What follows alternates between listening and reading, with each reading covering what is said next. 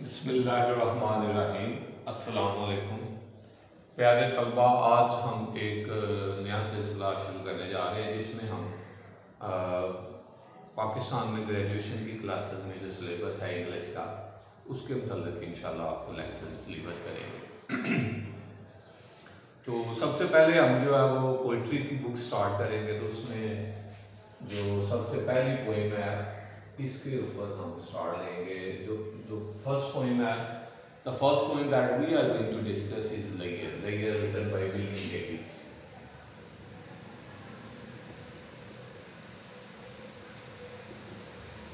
اس میں لٹریچر میں میں آپ کو جتنے بھی لیکچرز دوں گا یہ جنرل قسم کے لیکچرز ہوں گے جو تقریباً تمام کویسچنز کو جو ہے وہ کور کریں گے مزید اگر آپ رہنمائی چاہتے ہیں، اگر آپ انڈیویجولی تو میرا نمبر میں اس پہ بورڈ پہ بھی لکھ دوں گا اور آپ ویسے نوٹ بھی کر سکتے ہیں۔ Zero three hundred six four six four nine seven nine میرا سیل نمبر ہے۔ اسی پہ میرا واٹس ایپ نمبر ہے تو آپ ڈائریکٹ رابطہ بھی کر سکتے ہیں۔ تو لٹریچر میں جو اہم باتیں ہیں وہ یہ ہیں کہ ہمیں لٹریچر کو سمجھنا ہے۔ We are to understand literature in order to read it from the point of view of examination or to get maximum benefit from literature. We read, whenever we read a poem or we read any other piece of literature, we read it in the light of these directions. First of all, every piece of literature is an exposition. It exposes something. It depicts something. It presents something. It reveals something. It exposes. It lays bare یہ expose کرتا ہے کچھ۔ اور وہ expose جو ہے یہ کیا کرتا ہے؟ It exposes life it exposes life of man man اور women same thing it exposes life of man man has God nature man has God nature which is either good or evil so man's nature is presented in literature evil is presented in such a way that we hate evil and we do not like to develop evil in, our, in ourselves. Whereas good is presented in such a way that we appreciate goodness in, in ourselves. So literature depicts life, life of man, man's nature. Nature is universal, so literature is also universal. Human nature never changes. Since human nature never changes, what is presented in literature is always universal and true to life. Ages change whereas Shakespeare's writings are the same and they are still appreciated. Iqbal's writings are same, they are still appreciated. Because they are about human nature.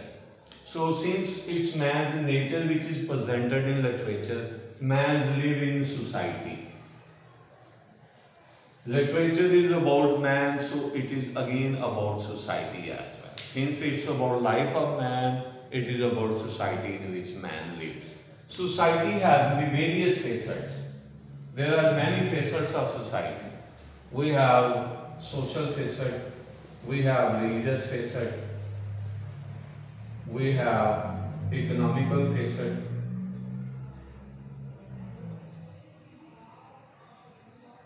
we have political facet, we have moral facet, we have uh, a cultural aspect of society. So these are various facets which are presented in literature. Literature may be about one thing or may be about all these things. There may be one aspect of life which is presented in literature. There may be many aspects of life which are presented in literature. So man has got two major things. One is mind and the other one is heart. Heart is connected to emotions. Man has got emotions. At the same time, mind has got thoughts. So man is man as he has emotions and thoughts. If a man has no emotions and no thoughts, then he may be physically or biologically a man, but from the point of view of philosophy, he is not a man in the true sense of the word because men have emotions and they have also thoughts. So When we study literature, we study man, we study his life, we study his nature as well as we study various things of, of his life, various aspects of society. We also study mind of man and we also study heart of man. So in poetry, the major focus is heart. We approach to the study of man by appealing to our heart. But it doesn't mean that poetry only appeals to heart. It also appeals to mind. So these are some of the things which are exposed in literature. Life is presented. You can see many examples. A large number of examples can be quoted in this respect. For example, I quote Abrarul Haq's song, ਅੱਜ ਮੇਲਾ ਵੇਖਣ ਆਈਆਂ ਕੁੜੀਆਂ Lahori which society is presented Lahori society is presented ਅੱਜ ਮੇਲਾ ਵੇਖਣ ਆਈਆਂ ਕੁੜੀਆਂ ਲਾਹੌਰ ਦੀਆਂ Lahori girls are presented and then the second thing is that we see their habits. Lali ਗੱਲਾਂ ਉੱਤੇ ਚੰਗੀ ਤਰ੍ਹਾਂ ਲਾ ਕੇ these are the habits maybe evil habits or you may call that they are gone on the wrong track using maximum quantity of cosmetics in order to be beautiful whether they are beautiful in reality or not it doesn't matter but one thing is very clear they are using cosmetics to a great extent. So however, we will see what is the next thing that we are going to see while reading literature. The second thing that we are to, to focus on is it reforms the society. It gives us reformation. Literature reforms, it purifies, it tries to purify.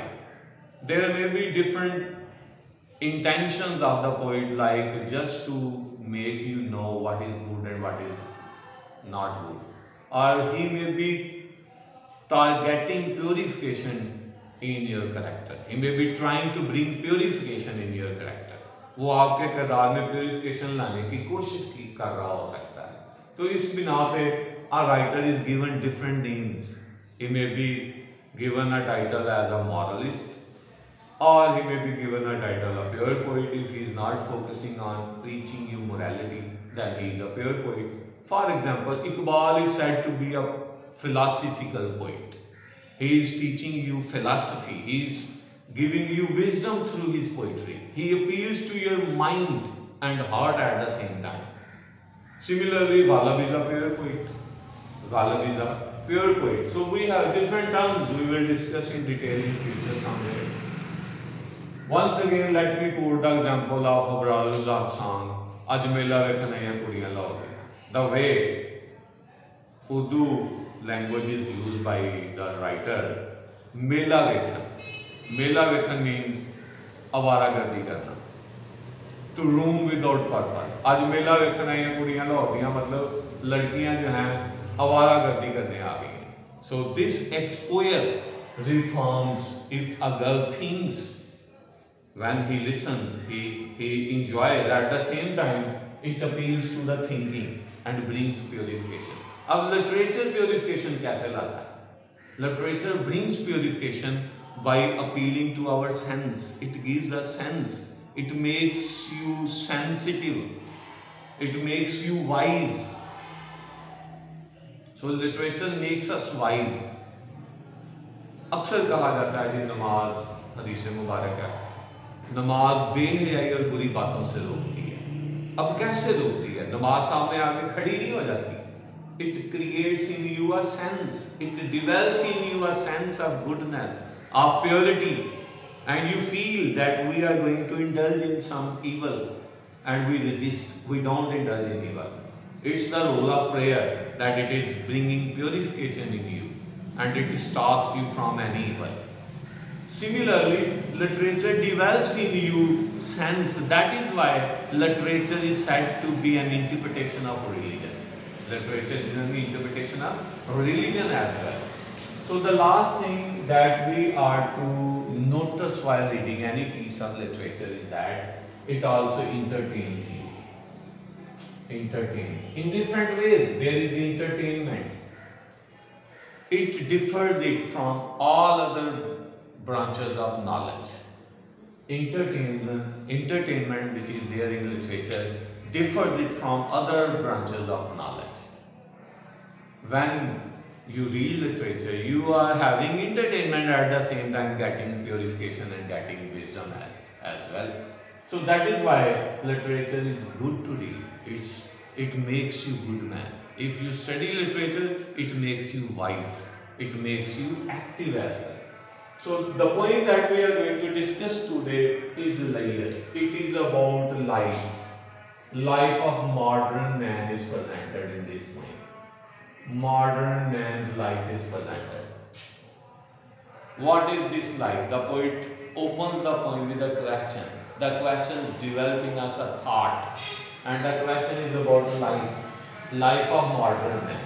And we think, we see in our surrounding, we see that modern man is all the time busy.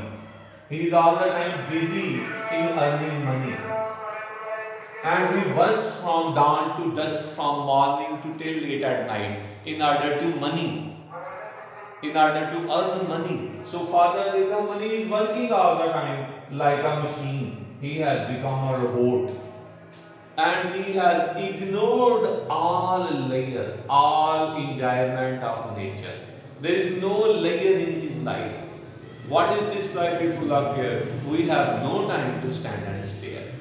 He has no time. Since he has no spare time, no free time to enjoy nature, what is there in life?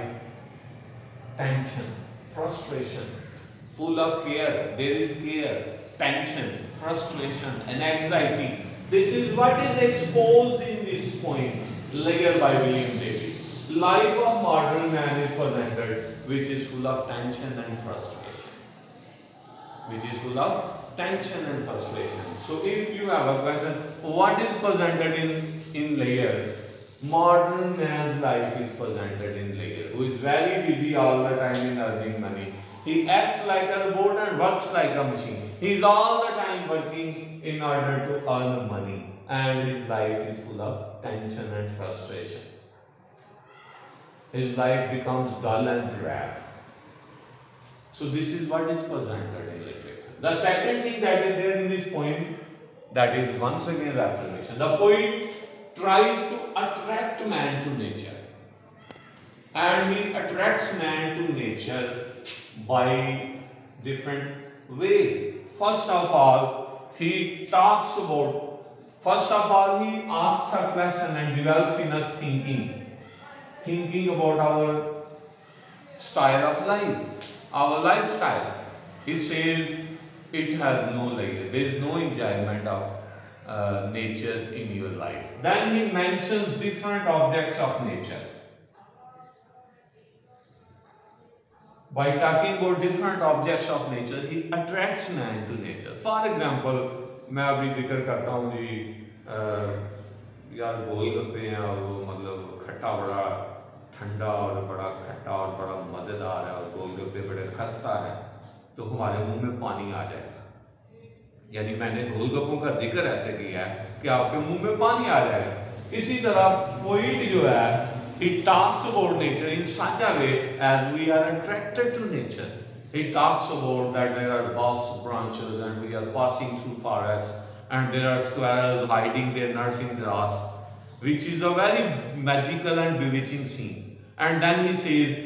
that there is beauty all around us, smiling on us.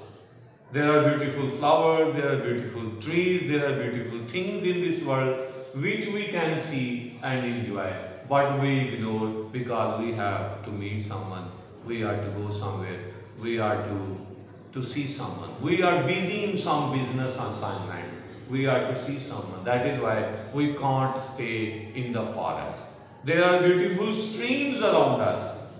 They are surrounding us and uh, when the light of the sun falls on the water of stream, it shines like twinkling stars in the skies at night. It's a very bewitching and magical scene. But we miss this scene too because we are very busy. We have no time. And finally, the poet once again laments on the fact.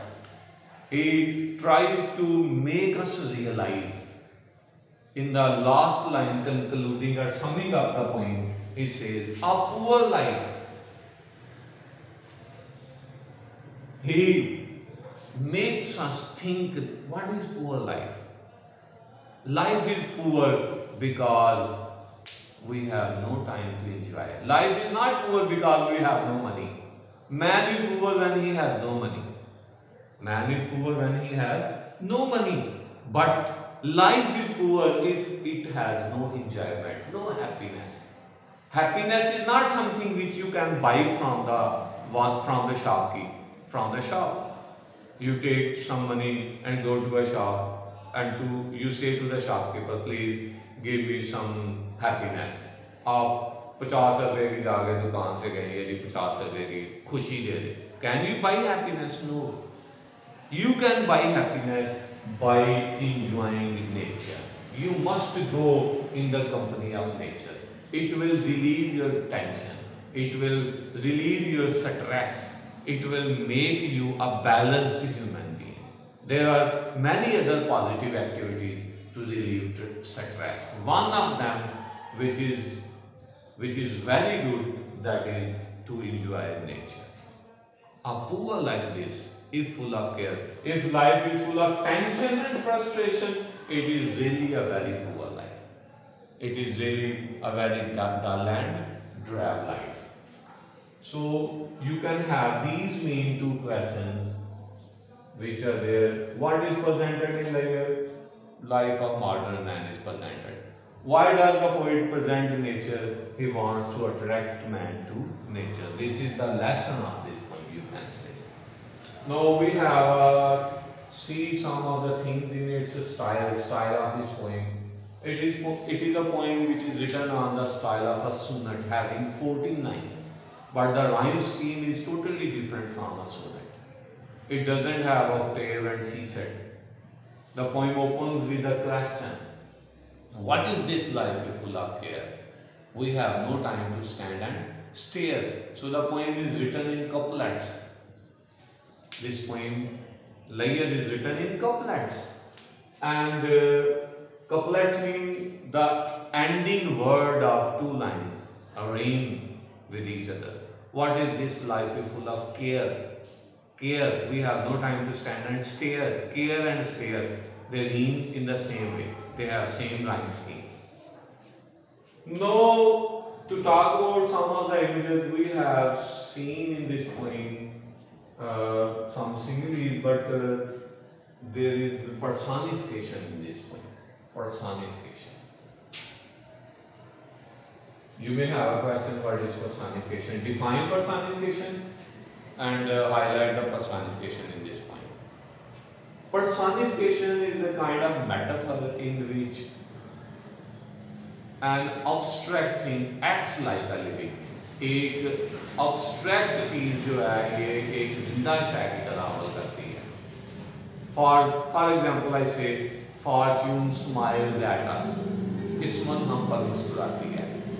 Death does not knock at the door موت دستک نہیں دیتی دروازے۔ It comes directly یہ خود آ جاتی ہے۔ So death is knocking at the door which is not possible from an abstract thing. But it is possible in a poem. When an abstract thing is presented acting like a living thing, when an abstract thing acts like a living thing in a poem or a piece of literature, and its first letter is also capital, it is called personification. For example, in this poem, beauty, beauty's glance, Beauty glances. Beauty is an abstract thing. We can't touch it. It's an abstract thing. And it glances. Glancing is the act of a living thing. It looks, it sees. Meaning by beauty has first letter B which is capital in the poem and it is also glancing like a living thing. So it means an abstract thing is acting like a living thing. Meaning by beauty is personified in this poem. Why is personification used? What is the function of personification? The writer wants to pack maximum meanings in minimum space. He can't talk about all objects of nature. he talks about some of the objects of nature, then he uses beauty as a personification, symbolizing every beautiful object of nature. Beauty means charms of nature, every beautiful object of nature. So it doesn't mean a girl, a beautiful girl, like it doesn't mean a beautiful flower. If we mean by beauty a beautiful girl, it means we are fixing the meaning of beauty to a beautiful girl. I, we are we are having only beautiful flower as meant by beauty, which would mean to fixing the to fix the meanings of beauty, which is not the purpose of the poet. The poet uses some poetic beauty in order to pack maximum meanings in minimum space. So by beauty, the poet means charms of nature. Then there is also uh, some similes. However, when you read the text, you will find it because whenever we, we see any simile, there is the word of uh, use of like or as as. So it's really a very beautiful poem in which nature is presented and with, with the purpose to attract us to nature. If we enjoy nature, we will have no tension, no frustration. And the life of modern man is presented, which is very busy and uh, uh, very tense. Thank you. Assalamu alaikum.